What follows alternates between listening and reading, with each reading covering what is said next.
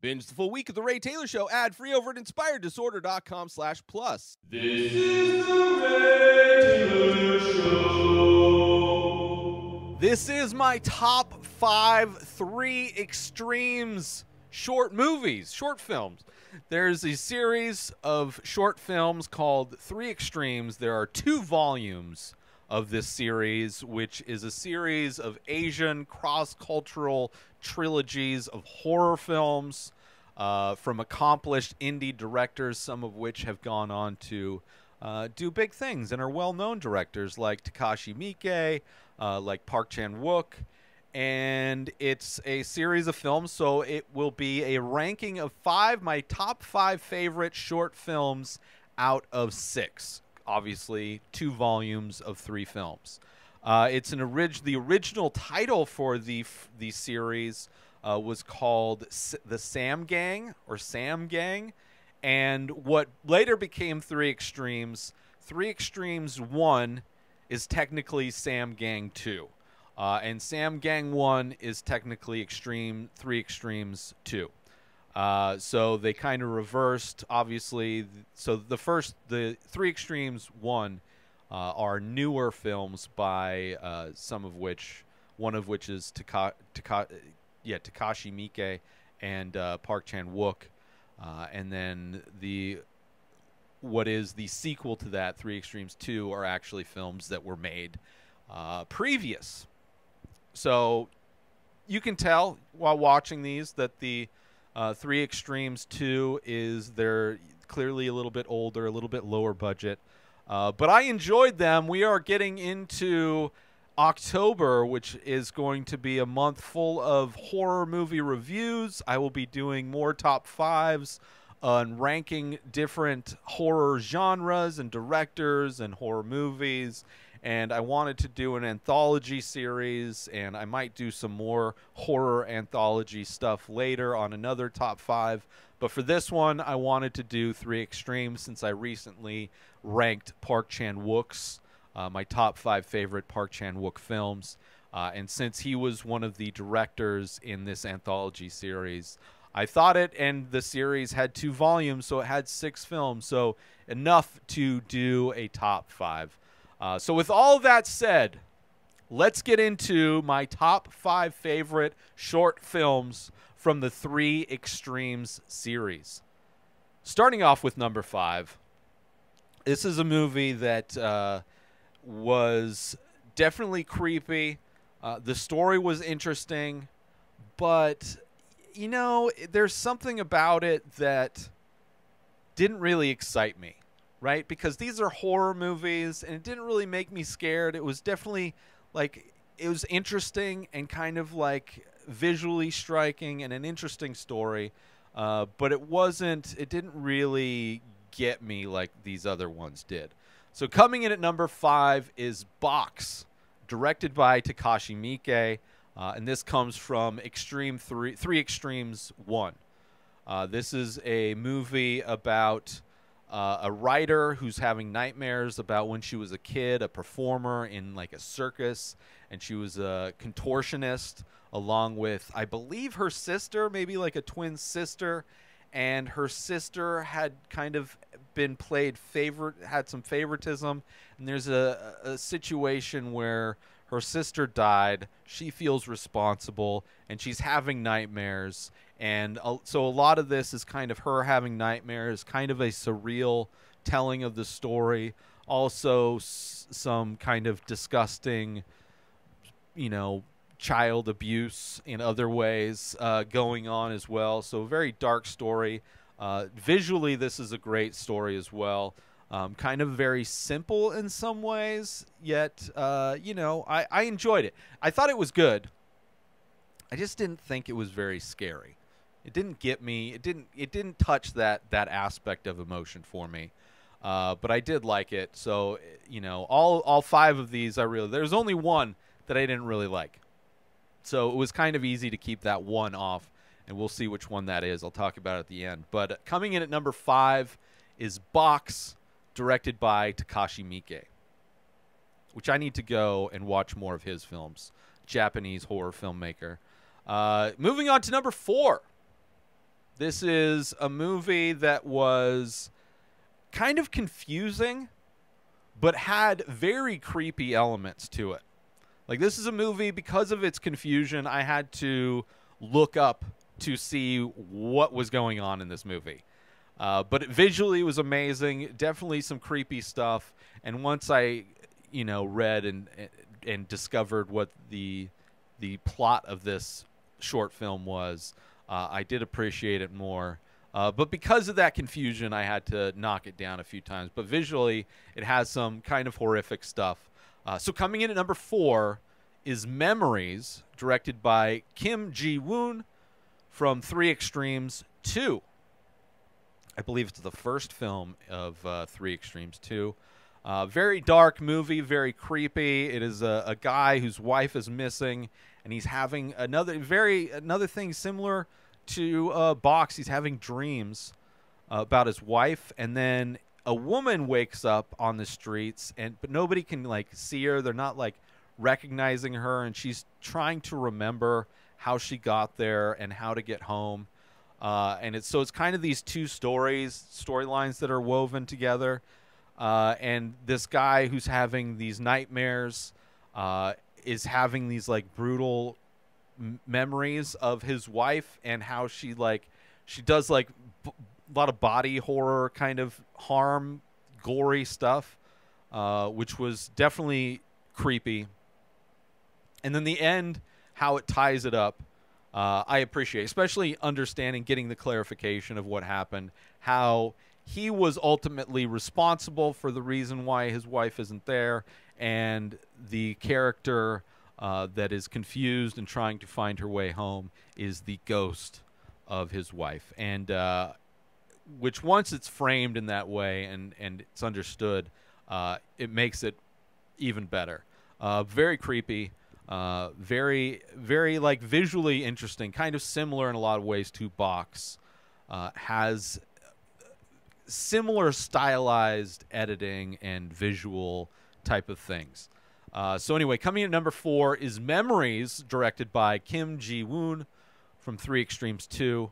Let's take a little break from the show to promote. I have Inspired Disorder Plus. Would you feel good about donating $5 a month to an artist that you want to support? $5 a month is not much, less than a price of a cup of coffee at Starbucks. A lot of people would probably say, yeah, Inspired Disorder Plus, people can go, and for $5 a month or $50 for the year, you get access to all of the old podcasts that I've ever done, like 10 different podcasts podcast, hundreds of podcast episodes. You also get access to like special deals. So if you do want to collect my artwork, you get discounts on stuff. Watch this show, binge the full week ad free for $5 a month. Like you get benefits for the $5 a month or $50 a year. So it's not like you're just donating $5. There's something, you get something for that. Would you feel good about donating $5 a month to an artist that you want to support? A lot of people would probably say, yeah. Head on over to inspireddisorder.com slash plus and become an Inspired Disorder Plus member today. And now let's get back to the show. Moving on to my third favorite short film from the Three Extremes anthology series. This is a movie that is super interesting story, has complexity to the story. This also very creepy. The the scariness factor of this movie jumps up. The narrative of it some confusing aspects, but still ultimately great. The end is like very interesting. Uh, so coming in at number three, like I really enjoyed this. Coming at number three is Going Home, directed by Peter Chan from Three Extremes 2. This movie is very creepy. This father son move into what is an abandoned apartment building that is about to be destroyed but they are down on their luck. They don't have a lot of money, so it's a financially uh, a situation that is good for them. Uh, it's a building that's only going to be around for another month, and it's getting torn down. So most of the tenants have left. Uh, and uh, when this father and son and the kid is like six, maybe maybe younger, young kid move in. Uh, they see this girl who also lives there that's even younger than the kid, very creepy. Uh, seemingly, this this girl has no family with her, although there is across the way from their apartment building, which they're on like you know the fifth or sixth story. It's like a giant apartment building. There is another tenant that still lives there with his disabled wife, and assumingly that little child belongs to that family. And just the setup and the premise of that is scary, like terrifying. The kid's scared because it's just like this hall. It's just like this abandoned apartment building. All these doors are open. Nobody's there. It's like in an area where just nobody lives. It is like the hollowed out carcass of a place that used to house hundreds of thousands of people. And the only people that are left is this weird guy who has his wife in a wheelchair. Uh, and then the kid goes missing. So the cop goes to the only other people that live there to see if their kids were playing together. Come to find out, they don't have a kid, and they don't know what. Eh, but he, the what he is doing is very creepy because we find out that his wife is actually dead, and that he's using Chinese medicine to revive her, to bring her back from the dead, which is insane.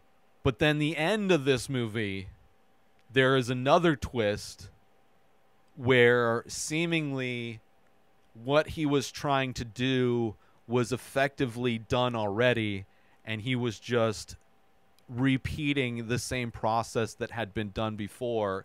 And just as everything falls apart at the end of this movie it is like a little too little too late almost. Which just adds another layer. There's like layers of stories. There's a lot of different stories that are going on. It's not just about this kid that goes missing. Super interesting movie, super creepy, and just like levels of of darkness and things that make you uh, look at it from they they recontextualize what's going on. They frame things in a different way.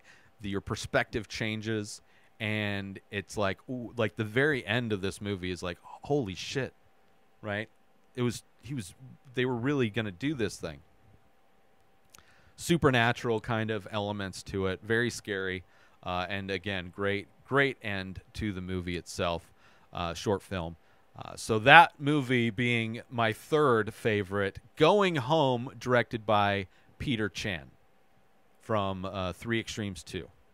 Moving on to my second favorite short film from the Three Extremes anthology series of movies.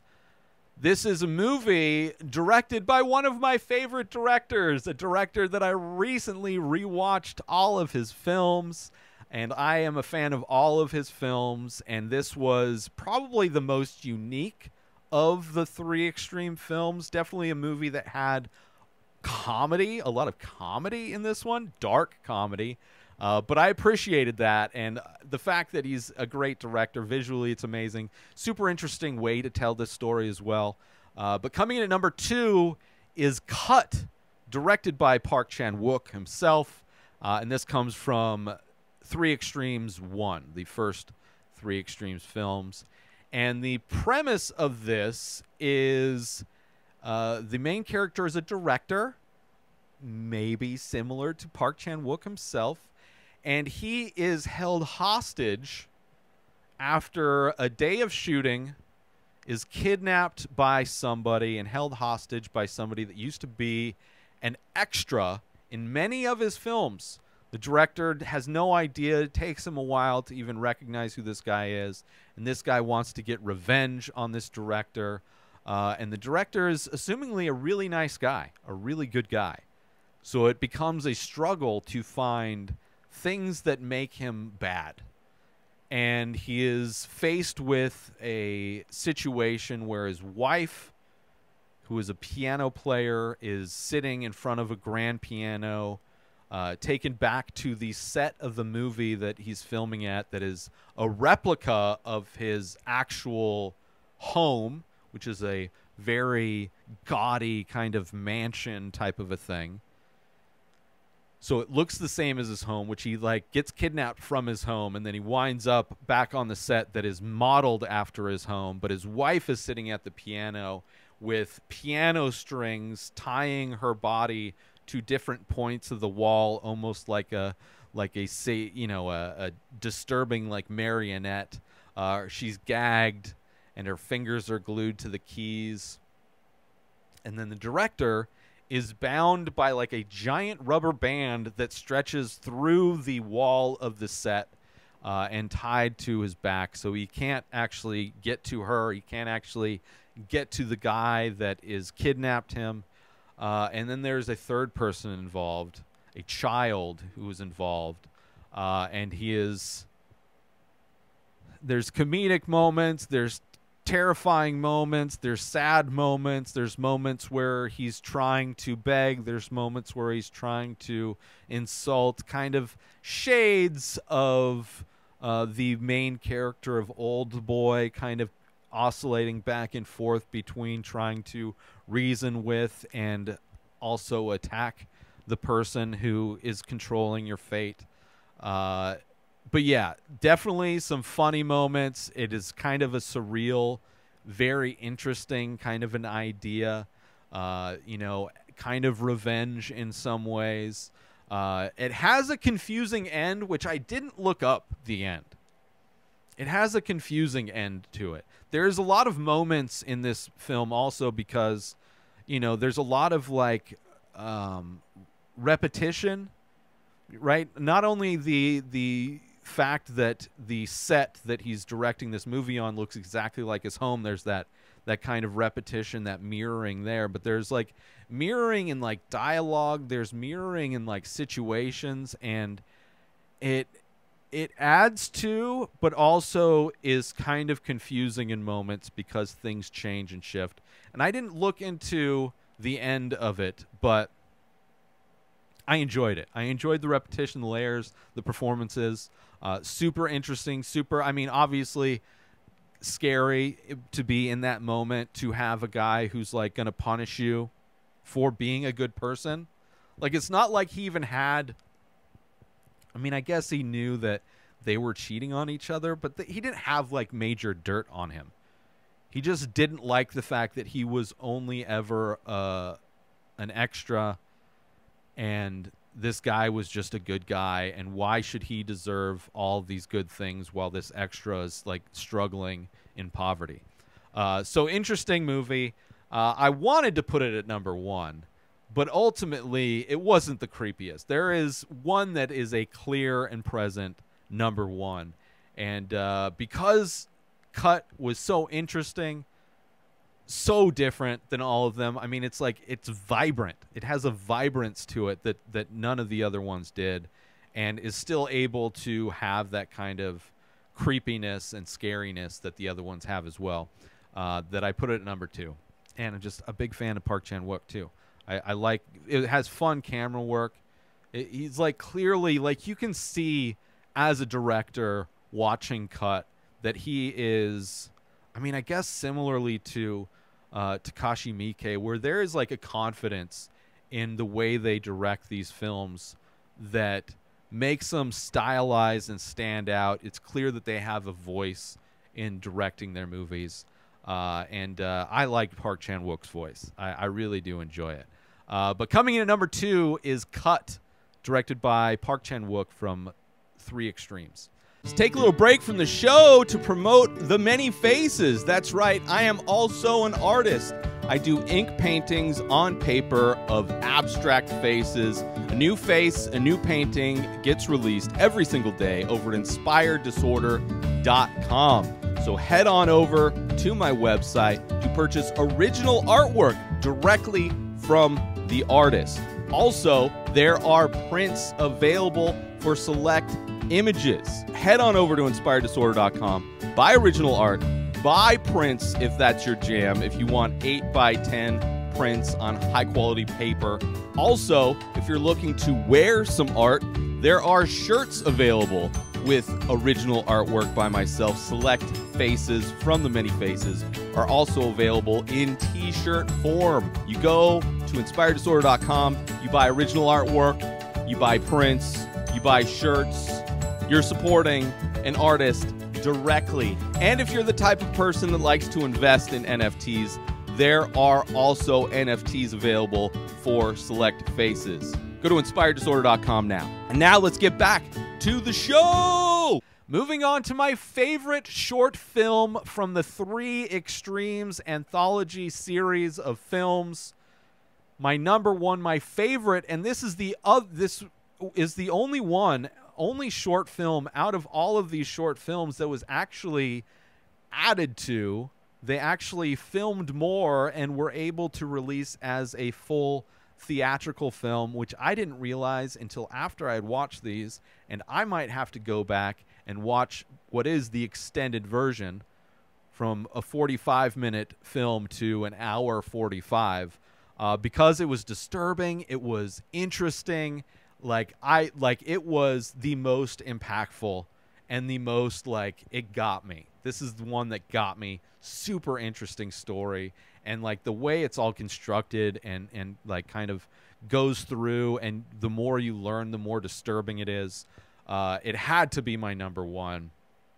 And i think it's actually the first short film in three extremes. The first three extremes and that movie coming in at number one is dumplings by fruit chan i believe is how you say his name uh, dumplings is gnarly. This is gnarly. The idea is that there's this woman who makes dumplings that revitalize your looks, are able to regress, make you look younger, maintain your healthy young skin and young looking self. And there is an aging actress who is desperate to look younger and feel younger and she goes to this woman who makes dumplings and starts to eat them even though they are painful to eat and we find out while why they are painful to eat because let's just say this woman that makes dumplings also performs abortions and the mystery ingredient helps to make you look youthful. Yeah. So, spoilers. this is a crazy short film. And it even goes further than that. Like, there's. There's a lot to that idea, right? Which there's already conspiracy theories that like wealthy people like drink children's blood or the idea of eating baby fetuses and stuff like that, whatever. So it's kind of playing on those already existing conspiracy theories and wacky ideas. But how they, forgive the term, flesh it out is amazing. What happens with this lady that's an actress that's so desperate to look younger? I mean, it has that that aspect of it where it's like how women will what lengths women will go to to maintain their youth, to maintain their beauty is kind of insane on its own. You know, all of the procedures and maintenance and things. I mean, one, the fact that they kind of have to because society is so messed up that women are only valued because of their beauty, which is a kind of a shitty idea to begin with but the lengths at which women will go to try and maintain that beauty because society is set up in that way in reality is like the makeups, the creams, the procedures, everything that happens is crazy. So this kind of takes that idea, cranks it up. It also takes the kind of the idea of abortions, uh, and it's it's basically uh, part of this movie is what conservatives in America think liberals do. like, I could see them watching this and being like, "See, this is a documentary. This is exactly what they do." Um, so it's got like all of those things, but the way this goes, how it ends, like the length to which this woman who is getting the effects, but even the effects are like bad. Like there's a dinner scene where like she smells bad and it's like side effects from dumplings that she ate and she thinks that maybe the meat was like rotten. They find out that that was like from uh, like was a product of incest, which isn't even the darkest aspect of where this short film goes. I don't want to spoil it, but it keeps going darker. And for a film series that's called Three Extremes, this film goes extreme.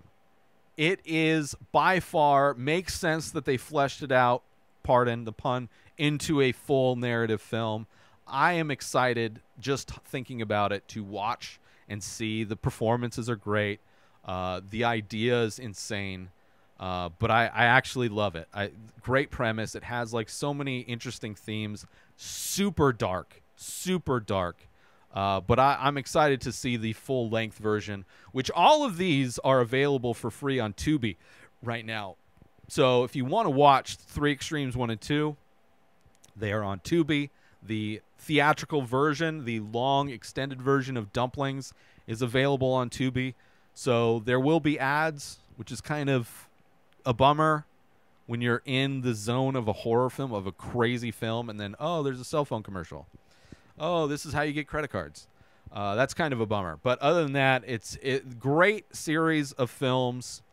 I absolutely love them, and Dumplings knocked it out of the park. I think it was by far the most, the most like, just like brutal of the films. Uh, and the one film that didn't make it, it was a Taiwanese film uh, directed by Nanzi Nibarutu, Nibarutur, uh, The Wheel, which is about like possessed puppets. It was okay, but no, wasn't wasn't scary. Performances weren't the greatest. Uh, there was aspects of it where it just wasn't great. Where the rest of these, I really did enjoy all five of these. Uh, they were all great, and uh, let me do that one more time. One more time. Let's go through. This is my top five three extremes short films. No, let me phrase that. This is my top five. This is my top five short films from the Three Extremes anthology series. Starting off with number five is Box, directed by Takashi Miike. Number four is Memories, directed by Kim Jin Woon. Number three is Going Home, directed by Peter Chan. Number two is Cut, directed by Park Chan Wook. And my number one favorite short film from the Three Extremes anthology series is Dumpling, directed by Fruit Chan. I highly recommend checking out the Three Extreme series, Volume 1 and Volume 2. Uh, very good horror film anthology series to kick off October and get you ready for Halloween. Uh, let me know how you would rank the Three Extreme short films. Uh, I would love to know, would love to hear your thoughts on them. And let me know if you've seen Dumpling, the full theatrical version. I would love to do that as well. Hit me up in the comments, hit me up on social media. I would love to hear it. New episodes of The Ray Taylor Show come out every single day. Subscribe on YouTube and everywhere our podcasts are found. Binge the full week over at inspireddisorder.com slash plus. Buy Ray Taylor Show merch over at inspireddisorder.com. And follow the show on Instagram at Ray Taylor Show. Have a wonderful day, everybody. Peace out! Today is the day where you wake up and you realize that everything that you've been dreaming about, everything that you've been wanting, every goal and wish and hope that you've ever had can become real. Dreams can come true. What you manifest in your mind, you can bring